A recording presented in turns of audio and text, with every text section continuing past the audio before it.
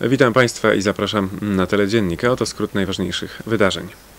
Wojewoda Radomski rozdysponował fundusze na przyszły rok. Mówić także będziemy o kolejnych propozycjach budowy sieci supermarketów w Radomiu. A także e, o tym, że Warecki Browar uznany został przez władze wojewódzkie za przykład udanej prywatyzacji. A oto szczegóły informacji. 3,5 biliona starych złotych wyniesie przyszłoroczny budżet naszego województwa. Najwięcej, bo około 60% wszystkich środków otrzyma służba zdrowia.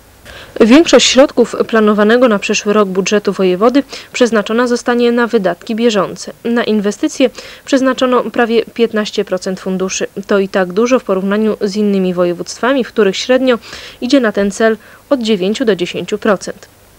Główną pozycję budżetu wojewody stanowią wydatki na służbę zdrowia blisko 60%. Pod względem dynamiki wzrostu nakładów na pierwszym miejscu znalazła się kultura fizyczna.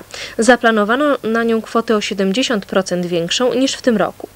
Priorytetowe zadania przyszłorocznego budżetu to kontynuacja budowy szpitala na Józefowie, budowa i modernizacja dróg wojewódzkich zarówno w miejskich, jak i pozamiejskich, a także budowa infrastruktury wiejskiej. Wojewoda dotować będzie budowę wodociągów i kanalizacji na wsi. Mimo tak optymistycznych założeń pieniędzy w kasie wojewódzkiej znajdzie się realnie tylko o 4% więcej niż w tym roku, zakładając, że wzrost cen nie przekroczy 19,8%. Budimex zrezygnował z kupna radomskiego przedsiębiorstwa robót instalacyjnych, poinformował na ostatniej konferencji prasowej wojewoda Zbigniew Kuźmiuk. Rozmowy z Budimexem toczyły się od dłuższego czasu. Obie strony były już na etapie finalizowania umowy. Dwa tygodnie temu przedstawiciele Budimexu poprosili o dodatkowe dokumenty dotyczące sytuacji ekonomicznej Radomskiego Przedsiębiorstwa Robót Instalacyjnych. Po kilku dniach do Urzędu Wojewódzkiego w Radomiu wpłynęło pismo, w którym Budimex informuje, iż wycofuje się z inwestycji ze względu na zbyt wysoką kwotę zobowiązań i wysoką kwotę zaangażowania kapitałowego. Dla nas ta opinia jest zarówno zaskakująca, jak i dziwna. Tak wysokość zobowiązań, jak i wielkość ewentualnego wkładu kapitałowego była znana już na początku negocjacji, powiedział wojewoda Zbigniew Kuźmiuk. W tej sytuacji trzeba będzie szukać nowego inwestora. Pod koniec ubiegłego roku RPRI zaangażowało się w prace melioracyjne, które poprzez cesję przekazał przedsiębiorstwu Urząd Wojewódzki, aby w ten sposób wzmocnić jego pozycję.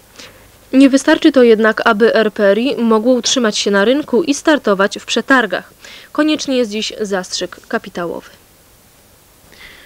Niemiecka firma Weiss und Freitag planuje wybudować w Radomiu kilka nowoczesnych supermarketów. Na temat budowy supermarketów rozmawiali ostatnio przedstawiciele niemieckiej firmy z wiceprezydentem Stanisławem Bąkiem. Jeżeli zostaną szybko załatwione niezbędne formalności, pierwsze obiekty mogą zostać wybudowane już w połowie przyszłego roku. Największe supermarkety mają powstać na osiedlach Ustronie i Południe, mniejsze na Gołębiowie, Michałowie i w centrum miasta. Inwestycje te dałyby pracę kilkuset osobom. Wykonawcą tych inwestycji ma być radomska firma Radmur. Jeżeli to jest e, no, wiarygodne, bardzo bym się cieszył z tego powodu. Miastu brakuje jednak tego typu obiektów. Jeżeli Niemcom będzie odpowiadała proponowana przez Urząd Miejski lokalizacja supermarketów, to w ciągu tygodnia dojdzie do kolejnego spotkania. Warecki Browar produkuje rocznie 600 tysięcy hektolitrów piwa, co stanowi blisko 4% ogólnokrajowej produkcji. Dzięki inwestowaniu dużych sum we wprowadzanie nowoczesnych technologii, produkcja będzie mogła ulec w najbliższym czasie nawet podwojeniu. Browar w Warce uznawany jest przez władze wojewódzkie za przykład udanej prywatyzacji przedsiębiorstwa. W ostatnich latach sprzedaż piwa z browarów w Warce systematycznie malała. Przedsiębiorstwo znajdowało się w nie najlepszej kondycji finansowej. Wzrastało zadłużenie. Prywatyzacja browaru trwała ponad 3 lata. Kupnem zakładu zainteresowane były firmy z Austrii, Republiki Południowej Afryki i norweski Ryngres, ale trwające przez wiele miesięcy negocjacje kończyły się fiaskiem. Ostatecznie browar sprzedano firmie Drink Service, której właścicielem jest warszawski biznesmen Ryszard Warizella. Wykupił on początkowo 60% udziałów, a po oddłużeniu browaru kwotą 5 milionów dolarów jego udziały wzrosły do 80%. Warunki prywatyzacji były również korzystne dla załogi, której zagwarantowano 10% udziału w firmie i niezmieniony poziom zatrudnienia przez okres 3 lat. Obecnie w browarze pracuje 600 pracowników. Średnia płaca wynosi 680 zł brutto. Nowy właściciel inwestuje pokaźne kwoty w unowocześnienie technologii produkcji. Zakupiono nowoczesne zbiorniki do ważenia piwa, uruchomiono 6 zbiorników o jednostkowej pojemności 1500 hektolitrów do jednoczesnego leżakowania i fermentacji piwa. Wkrótce produkcja będzie kontrolowana przez specjalne urządzenia, które wyręczą browarników w precyzyjnym doborze produktów oraz pozwolą z dokładnością do 1 stopnia Celsjusza utrzymać temperaturę w zbiornikach fermentacyjnych, co ma zasadnicze znaczenie dla smaku piwa. Dzięki wprowadzeniu nowoczesnej duńskiej technologii produkcja będzie mogła ulec podwojeniu.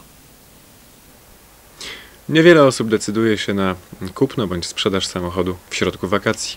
Dlatego też dzisiejsza giełda samochodowa była jedną z mniejszych w tym roku. Jak co tydzień na dzisiejszej gie- giełdzie samochodowej najwięcej było Fiatów 126P.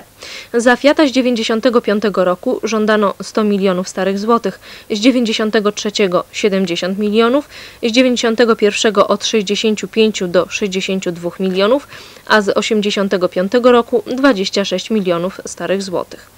FSO 1500 kosztowały od 72 milionów za rocznik 90 do 31 milionów za rocznik 85. Cinquecento o pojemności 900 cm3 z 94 roku kosztował 145 milionów, a o pojemności 700 cm3 z roku 95 160 milionów złotych. Za polonezy Caro żądano 189 milionów z roku 95, 168 z 94 i 134 milionów za poloneza z 93 roku. Ceny wywoławcze Łady Samary to 115 milionów za rocznik 92, od 112 do 114 milionów za rocznik 91 i 95 milionów za rocznik 90. Łada 2107 z 88 roku kosztowała 72 miliony złotych. Cena wywoławcza Mitsubishi Galant z 92 roku to 260 milionów starych złotych. Opel Kadett z 89 roku kosztował dziś 175 milionów, a rekord 165 milionów. Za Citroena BX z 87 roku żądano 97 milionów, a z 86 85 milionów starych złotych. W teledzienniku pora na przegląd prasy. W Słowie Ludu w artykule Gorąca Masa Aleksander Kornatowski pisze o proteście mieszkańców Szydłowca i Sadku przeciwko otwarciu zakładu, który ma produkować masę z fosfogipsu i żywicy epoksydowej, używaną w budownictwie. Mieszkańcy twierdzą, że spaliny zatrują pobliski las i okolice. Podczas awarii 17 lipca z komina fabryki wydostał się fosfogips o temperaturze około 300 stopni, który poparzył drzewa.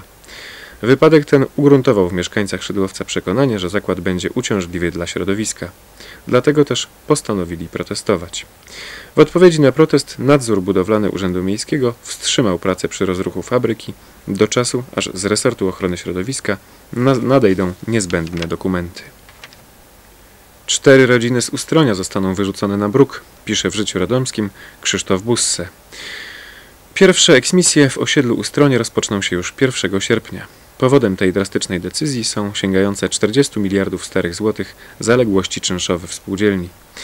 Na czarnej liście znajduje się około 40 rodzin i jak twierdzi prezes Włodzimierz Cieślak, rodziny te nie posiadają żadnego prawa do zajmowanego lokalu.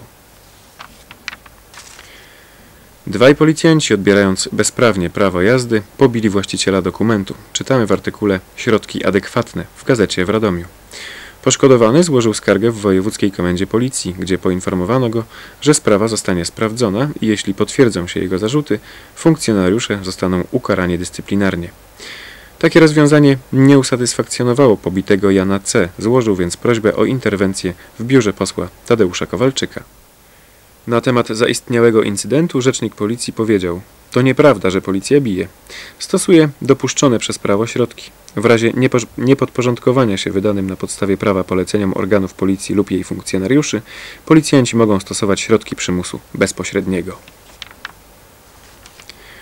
W magazynie Echa Dnia natomiast możemy przeczytać o najbardziej spektakularnej w powojennej historii Polski ucieczce z więzienia w Dębicy. Pięciu groźnych przestępców uciekło z więzienia kilkunastometrowym podkopem i w ślad po nich zaginął. Komisja badająca okoliczności tej ucieczki złożyła wniosek o ukaranie 19 funkcjonariuszy służby więziennej, którym zarzucono rażące zaniedbania w wykonywaniu obowiązków i całkowity brak nadzoru. Marcin Nowakowski w Dzienniku Radomskim w artykule Aniołek pisze o 15-letnim chłopcu, który obecnie przebywa w pogotowiu opiekuńczym i ma za sobą już kilka przestępstw.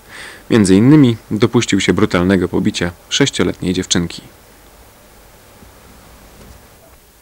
W dzisiejszym teledzienniku to już wszystko, a na jutro na 17.15 na wydarzenia magazyn teledziennika zapraszam Państwa w imieniu Doroty Bednarskiej. Do zobaczenia.